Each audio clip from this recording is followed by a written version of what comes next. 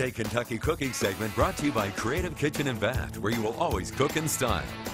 Welcome back to Midday Kentucky. We are right here at Wild Thyme with Miss Allison Davis, and we are cooking the bacon. We're frying right now.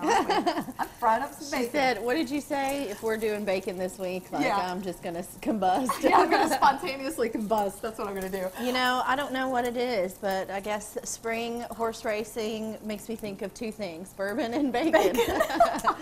so, we're doing one of my favorites. We do this in a lot of our cooking with bourbon classes, Yeah. um, especially this time of year because beans are going to be coming in season, you know, as we get into the warmer months. Um, but this is a bourbon and bacon green beans. Um, so, what we're doing right now is just kind of browning and crisping up some bacon. Um, the recipe that um, we're going to have online is going to say you can add a shallot or a diced onion to that if you want. Okay. Or you can omit it. I didn't put an onion in today. I've just got the bacon. Okay. Um, we've crisped it a little bit, and now we are going to just kind of turn it on a low heat, and then just add our beans in. Directly And- in? Yeah, directly in. I don't Okay. blanch the beans uh, because I like for my um, vegetables to still have a bit of a bite Yeah. and to be a little crisp. Okay. So I like to just keep them um, at that raw state. Mm-hmm. So what you're doing is just kind of lightly sauteing them. Mm-hmm. They're going to still stay nice, bright, and green.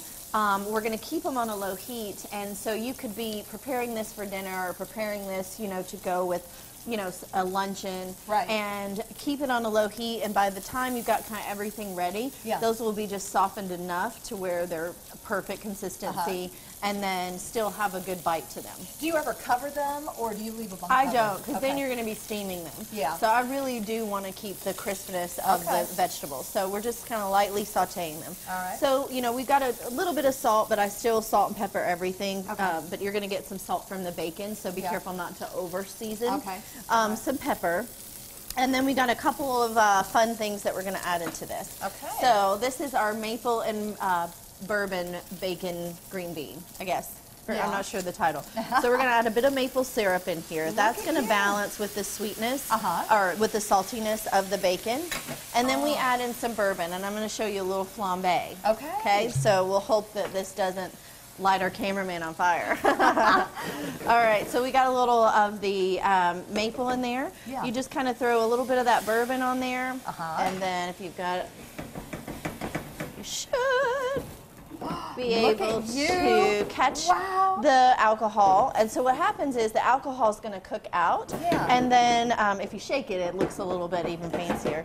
Um, but then the bourbon flavor is concentrated a little bit into uh, the sauce. Yeah. So now our sauce is made of bourbon and maple Uh-huh. and some of the uh, bacon drippings. And Yeah. so you've got this nice kind of glaze going. You want to give it a shake, Oh don't you? my gosh, I do. I can't help it.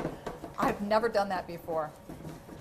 All right. So and there you how- go. yeah, and so once the flame is kind of out, then you know you've cooked the alcohol out of it and you're Yeah. just getting the flavor of the bourbon. Wow. Um, and lastly, I do this for color and also, again, to kind of bring some of that sweetness to the dish. Yeah. Um, a little bit of just dried cranberries. Okay. And then we're going to let this just kind of simmer on a low heat, and Okay. that is it. So Do I need to stir it? You you- can a little bit, Yeah. but really, this is such an easy, elegant, just ready to go uh, side dish uh, for spring. And yeah, I would serve this up with any um, any dish. Are my any bangs entree. still on? Your, bang, your bangs are good. Your hair's good. Okay, We're not okay. flammable I haven't over here. everything off yet. Okay, Um, good. but yeah, that's about it. So, any questions it on that? looks fantastic. You know, I I love it. thought about another alternate to this recipe. If you're like a fan of snap peas, I think you could probably do this very same That recipe, really but with good. snap peas and Yes. bacon and cranberries. And I if you wanted it. to have that, like maybe with some Asian um, grilled steak or something Yeah. like that, that would be a nice pairing. Oh, so. sounds so good. I can't wait to try it.